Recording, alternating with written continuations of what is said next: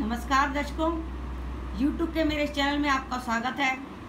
आज हम चर्चा करेंगे वृश्चिक लगन में सरकारी नौकरी का योग।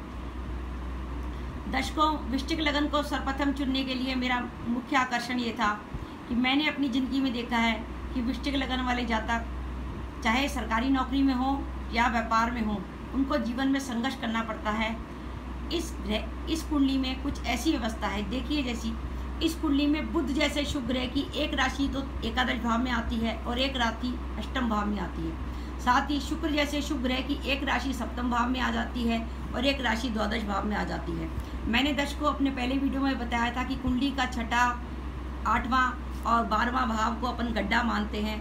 यानी इस भाव के स्वामी की दशा हो या इस भाव में कोई ग्रह बैठे हों तो जातक को मुश्किलों का सामना करना पड़ता है। इसकी इसलिए वृश्चिक लगन की कुंडली में अगर बहुत अच्छे ग्रह की स्त्री है, तभी जातक का जीवन अच्छा व्यतीत होता है। आज मैं आपके सामने वृश्चिक लगन की कुंडली प्रस्तुत कर रही हूँ, जिसमें जातक एक सरकारी नौकरी में कार्यरत होकर रिटायर हुआ है। और मैं आपको बताऊँगी कि इस कुंडली में उसकी सरकारी नौकरी के योग कैसे बने। सर्वप्रथम आप देखिए, कुंडली में लगन का स्वामी है मंगल। और लगन का स्वामी मंगल तीसरे भाव में मकर राशि का होकर बैठा है और साथ ही उसकी दसवें भाव पर दृष्टि है। कैसे? एक, दो, तीन, चार पाँच, छ, सात, आठ। यानी मंगल अपनी सातवीं आठवीं दृष्टि जो है, दशम भाव पर डाल रहा है। साथ ही कुंडली में, लगन में गुरु स्थित है। गुरु कुंडली के धन भाव का और पंचम भाव का स्वामी है और धन और पंचम भाव का स्वामी होकर लगन में स्थित है। ज्योतिष शास्त्र में माना जाता है कि कुंडली में अगर केंद्र में लगन में गुरु स्थित है तो ऐसी स्थिति में कुंडली में सारे दोषों का नाश हो जाता है। इसके साथ ही, गुरु के साथ ही उच्च के उच्च के केतु की भी होती है और उसको साथ ही उसके सप्तम भाव में उच्च राशि में बैठा राहु भी उसको देख रहा है। इस प्रकार कुंडली के लगन और सप्तम भाव में दो उच्च के ग्रह बैठे हुए हैं, जो एक बहुत अच्छा योग बना रहे हैं। साथ ही दशमेश सूर्य जो है, चौथे स्थान पर बैठा है, जिसकी लाभेश बुद्ध के साथ युति है। इस प्रकार कुंडली के चौथे भाग में सूर्य बुद्ध आदित्य योग बन रहा है, जिसके कारण सूर्य बुद्ध आदित्य योग बनाते हुए सूर्य दशमेश सूर्य अपने दशम भाव को दृष्टि भी दे रहा है। कुंडली में सप्तम स्थान का स्वामी शुक्र जो है जाके धन भाव में बैठा है। वैसे तो ये अपने भाव से षडाष्टक होकर बैठा है, पर अपन क्योंकि शुक्र जो है धन भाव का कारक ग्रह है, इसलिए अगर किसी जातक के धन भाव में शुक्र होगा तो उसको ज़िंदगी में कभी धन की कमी नहीं रहती। साथ ही कुंडली में भाग्य भाव का स्वामी चंद्रमा जो है वो जाके गुरु की मीन राशि में पंचम भाव में बैठा है और उस पर पंचम भाव के स्वामी गुरु की खुद दृष्टि है। अगर चंद्रमा पर गुरु जैसे ग्रह की खुद दृष्टि हो और वो गुरु की राशि में बैठा हो तो ये भी प्रकार से गज के केसरी योग का निर्माण होता है। इस प्रकार गज को हमने देखा कि जातक की कुंडली में इस तरीके के योग बने कि जिन्होंने उसकी कुंडली को काफ़ी अच्छा बना दिया। लेकिन अगर उसकी कुंडली में कुछ ऐसे योग बन जाते तो फिर शायद वह ज़िंदगी भर संघर्ष करता रहता। फॉर एग्ज़ाम्पल हम ये माने यही गुरु जो उसकी कुंडली में लगन पे बैठा है, अगर यही गुरु उसकी कुंडली के छठे भाव में आ जाता तो उसको संघर्ष करा देता। यही मंगल जो उसकी कुंडली में यहाँ पे बैठा है, तृतीय भाव में बैठा है, यही मंगल द्वादश भाव में आ जाता तो जातक को संघर्ष करा देता। इसलिए वृश्चिक लगन की एक ऐसी कुंडली है, जब भी आपके पास फलित करने के लिए आए, बड़ा सोच विचार के फलित करिए, क्योंकि वृश्चिक लगन के जातक के बारे में आप एकदम ये नहीं कह सकते, क्योंकि जातक की इच्छा काफ़ी तेज होती है जातक के लगन का स्वामी बनता है मंगल, और मंगल उसे निरंतर उत्साहवर्धक बनाता है, और वह निरंतर कार्य करना चाहता है। पर ये ज़रूरी नहीं है वो जितनी उत्तेजना और जितनी तेज़ी से कार्य कर रहा है, वह सब कार्य उसके संपादित हो जाएँ। इसलिए हमें ध्यान देना है कि हमारे पास विष्टिक लगन की कोई भी कुंडली आए तो हम ध्यान से देखें कि उसकी कुंडली में क्या स्थिति बन रही है। इसके साथ साथ मैं आपको ये भी बताऊँ कि इसी कुंडली में अगर हम विचार करें कि क्या ये जातक व्यापार कर सकता है तो दर्शकों, ये जातक व्यापार भी कर सकता है। इसका रीजन क्या है? व्यापार के लिए अपन विचार करते हैं सबसे पहले कुंडली के सप्तम भाव का।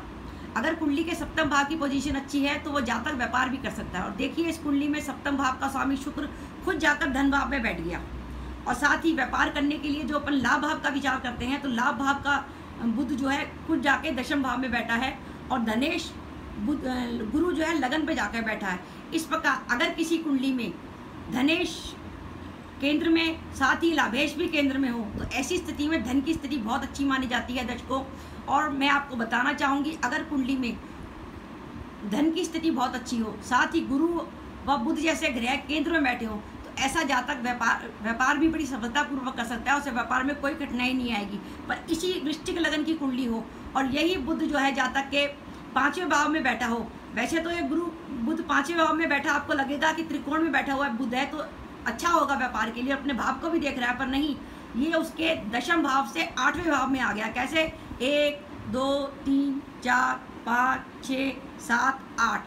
तो पंचम भाव में अगर कोई ग्रह बैठा होता है तो वो दशम भाव के लिए हमेशा नुकसानदायक होता है। इसलिए हमें विचार करना है कि कुंडली में अगर हम व्यापार का भी विचार करना चाहते हैं तो हमें देखना चाहिए कि कुंडली में धन भाव के स्वामी की स्थिति क्या है, कुंडली में लाभ भाव के स्वामी की स्थिति क्या है और कुंडली में जो व्यापार का वाणिज्य का कारक है, बुध वो कैसा बैठा है? बुध अपनी नीच राशि में तो नहीं बैठा।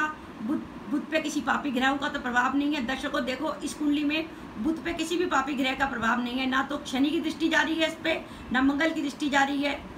और इसके साथ ही कुंडली में हमने देखा कि इस जातक की कुंडली, ये एक ऐसा भाग्यशाली जातक है जिसकी कुंडली में ऐसे ग्रहों की स्थिति थी कि उसकी सरकारी नौकरी लगी।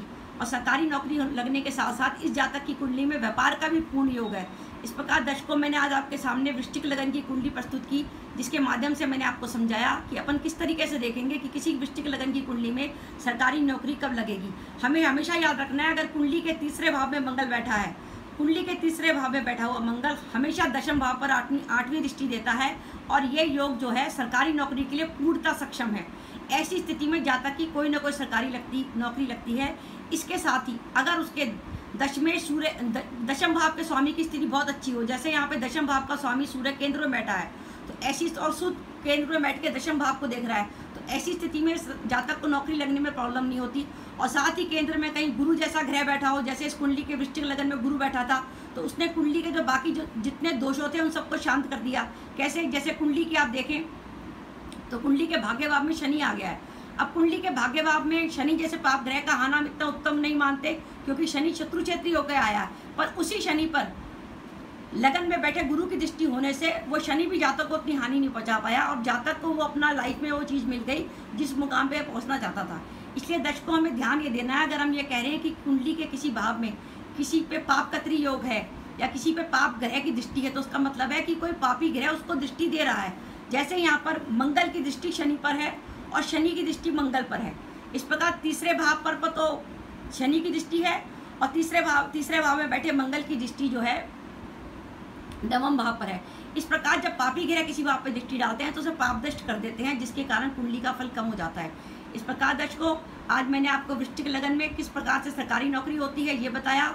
और किस प्रकार से वृष्टिक लगन में अगर लाभेश, धनेश की स्थिति और बुद्ध की स्थिति और सप्तम भाव के स्वामी शुक्र की स्थिति अच्छी हो तो ऐसी स्थिति में जातक नौकरी तो कर ही सकता है। साथ ही साथ में जातक व्यापार भी कर सकता है। इसमें ध्यान देने की बात है कि जिस जातक की कुंडली में छठे, आठवें या बारहवें भाव में अगर ग्रह नहीं होते तो ऐसी कुंडली व्यापार के लिए बड़ी उपयुक्त होती है, क्योंकि छठे भाव से हम विचार करते हैं ऋण रोग और शत्रु का। आठवें भाव से विचार करते हैं कोई अचानक आने वाली विपदा, संकट का, और बारहवें भाव से विचार करते हैं खर्चे का। अगर इन छठे आठवें और बारहवें भाव में कोई ग्रह ही नहीं बैठा होगा तो ऐसी स्थिति में जातक के लिए ज़िंदगी की काफ़ी मुश्किलें आसान हो जाएँगी, वो अपनी ज़िंदगी में काफ़ी सफलता से आगे बढ़ सकेगा। इसलिए अगर कोई जातक व्यापार करना चाहता है तो उसकी कुंडली में सर्वप्रथम ये भी देखना ज़रूरी है कि उसकी कुंडली में ऐसे कौन से ग्रह हैं जो उसके छठे, आठवें, बारहवें भाव में आते हैं। अगर किसी जातक के, कुंडली के धन भाव का स्वामी और लाभ भाव का स्वामी छठे आठवें, बारहवें भाव में आता है तो ऐसे जातक को व्यापार करने से बचना चाहिए। जैसे वृश्चिक लगन का ही जातक है। अगर इसका धनेश गुरु छठे भाव में आ जाता, या इसका लाभेश बुद्ध छठे भाव में आ जाता है लाभेश बुद्ध बारहवें भाव में चला जाता तो ऐसे जातक को व्यापार में हमेशा हानि का सामना करना पड़ता। इसलिए आपको इस बात का हमेशा ध्यान रखना है कि किस जातक की सरकारी नौकरी लगेगी और किस जातक को व्यापार में फ़ायदा होगा। दर्शकों, मैं आशा करती हूँ आपको मेरा वीडियो पसंद आया होगा। अगर आपको मेरा वीडियो पसंद आया तो कृपया से लाइक कीजिए शेयर कीजिए, मेरे चैनल को सब्सक्राइब कीजिए। नमस्कार दर्शकों, जय माता दी।